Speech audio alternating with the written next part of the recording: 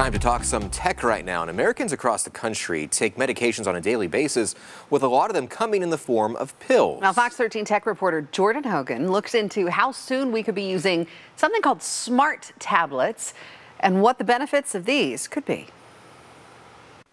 Medication can be a life saving tool for people around the world, but sometimes we forget to take it or it needs to be injected, which can be difficult to do on your own. Now, a medical tech company based in Colorado is trying to simplify the process with smart tablets. It's various methods of delivering drugs in unique ways to try to improve the efficacy of the drug delivery. Right now, SmartTab is working on three capsules with different functions. They are the Target tab, the Inject tab, and the multi-tab. The target tab is a capsule designed to be tracked as it goes through your digestive tract. It's supposed to release a drug in a specific part of the body. The SmartTab team hopes this would make medications more effective because they get released into the body at the right time and in the right place. We've got preclinical data on it and so far it has performed very well. The Inject tab is the second kind of smart tablet